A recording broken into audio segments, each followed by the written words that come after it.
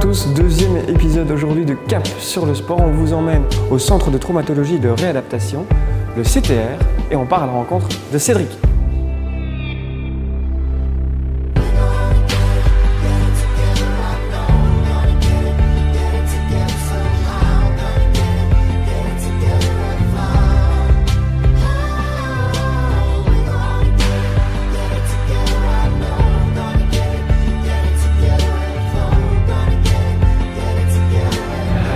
Comment ça se passe? Ben, Au début euh, c'était assez difficile, tu sais, euh, tout était un peu, un peu douloureux. Et puis là, ben, ça va de mieux en mieux vraiment. Et là, particulièrement depuis euh, quelques mois, j'ai l'impression que ça va vite. Tu sais que je fais de plus en plus de choses, des choses que je ne pensais pas possibles. Là, c'est un chemin vers l'indépendance et ça, ça rend heureux, c'est vrai.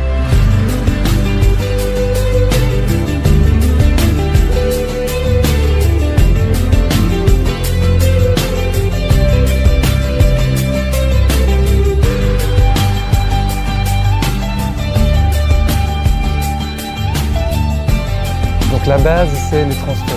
C'est euh, pouvoir euh, passer de la chaise au lit, de la chaise euh, dans une voiture, dans un lit. Et puis ça, ça va me permettre, ces transferts seuls, ben, d'aller à la piscine et de faire le transfert sur le bord de la piscine, puis de me jeter à l'eau et puis, après d'en ressortir. mais, mon appréhension, c'est de, de, rentrer et de sortir de la piscine. Parce que tu vois, comme je te disais, je dois faire ces transferts seuls et puis en plus, ça glisse, il y a de la flotte partout, et il ne s'agit pas de, tomber et de se blesser.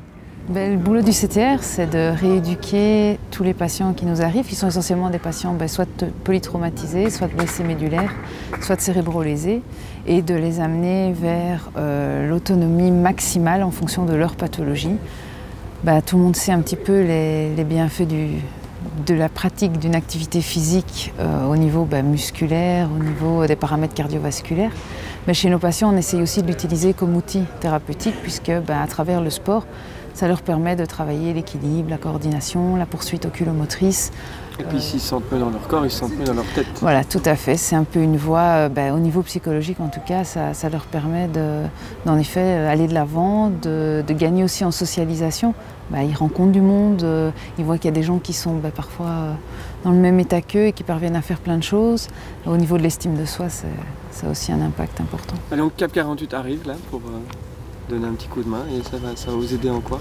Ça va nous aider non seulement au niveau humain, en, termes de, mains et de partir à la découverte de, nombreux sports et de pouvoir guider aussi le patient dans le choix d'un sport adapté, tout en restant en relation avec l'équipe ici, l'équipe pluridisciplinaire, et avec l'aspect rééducation.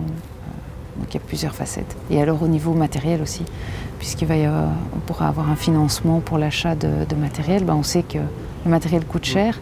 Un patient qui veut faire de l'athlétisme, un patient qui veut faire du basket, ben il doit avoir une chaise adaptée à sa pathologie, mais adapté au sport aussi, en plus de sa chaise de tous les jours. Et ben, tout ça a un coût. Au début, je trouvais ce truc super violent. Je me dis, euh, ouais, non, c'est certainement pas pour moi. En plus, à l'époque, j'avais encore une minerve. Et euh, je me dis, oh là là, pas question, tu vois. Euh, au basketball, ouais, c'est ça, c'est un peu violent, quoi. Tu sais, tu, tu, bloques les adversaires, les fauteuils se rentrent dedans. Il y a du contact, ouais.